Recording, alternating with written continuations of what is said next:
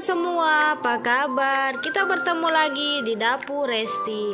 Nah, terima kasih untuk teman-teman yang udah setia menonton channel YouTube aku Resti Cooking dan Review ya. Jadi, eh aku ucapin eh, terima kasih dan juga bagi teman-teman yang baru bergabung jangan lupa like, komen dan juga subscribe. Oke, jadi kali ini di Dapur Resti aku mau buat satu buah resep makanan yang enak dan sehat yaitu ikan bandeng kuah kuning. Jadi ada bahan-bahannya yang mudah dan praktis. Kita langsung masuk aja ke bahan-bahannya yaitu di sini ada ikan bandeng yang udah aku cuci dan aku potong-potong. Oke, seperti ini ya.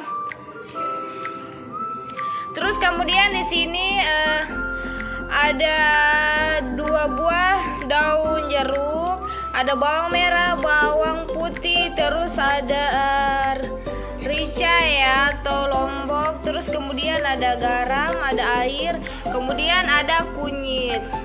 Oke, kita langsung masuk aja ke cara membuatnya. Terus jangan lupa nanti ada penyedap rasa. Oke, kita langsung masuk aja ke cara membuatnya. Pertama-tama yaitu uh, kita tumis irisan bawang merah, bawang putih dan juga uh, kita masukin dua buah daun jeruk ya biar wangi. Kita tumis sampai menguning dan juga wangi di dalam panci ini ya untuk merebus. Nah, jadi kalau udah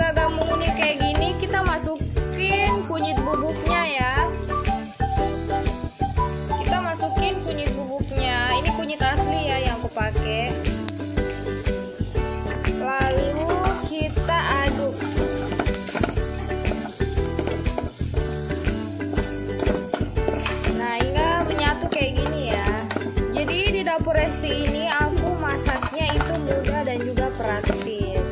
Jadi no pakai ribet-ribet tapi tetap enak dan sehat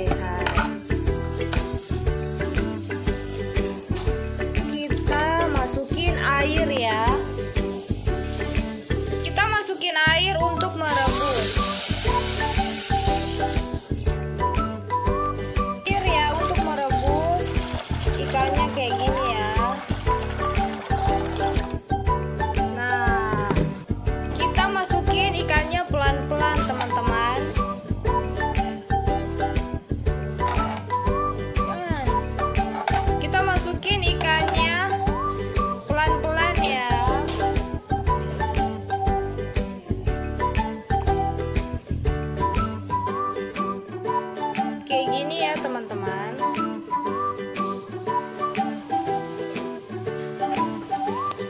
Oke selanjutnya kita masukin ini cabenya ya.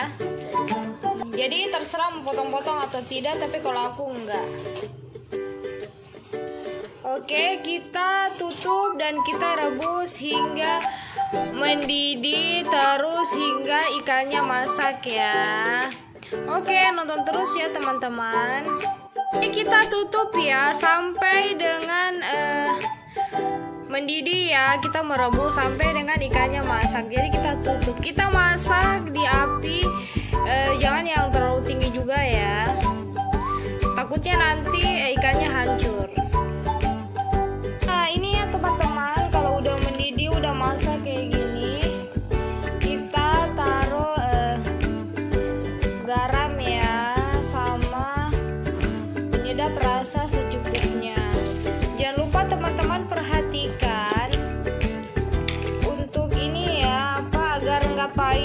Perhatikan saat membersihkan,